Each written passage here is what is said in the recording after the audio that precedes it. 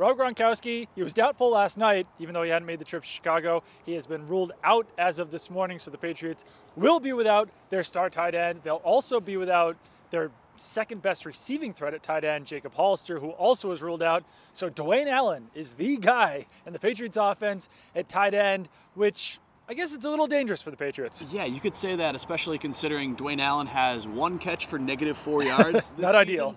Even last season, uh, earlier in his career, he was he was a legitimate receiving threat for the Indianapolis Colts. But ever since he joined the Patriots, he has just been a total non-factor in that regard. And I mean, even if it wasn't Dwayne Allen, going into a game with one tight end is pretty dangerous, especially for a team like the Patriots who love to use multi-tight end sets in there. So it's it's going to be difficult for the Patriots. I think you're going to see a lot more two running back sets, a lot more four wide receiver sets. Luckily, they do have some depth that there in their receiving corps now, so it should be able to kind of offset that a little bit. But Rob Gronkowski, anytime you go into a game without him, it's it's a huge loss. He's having probably a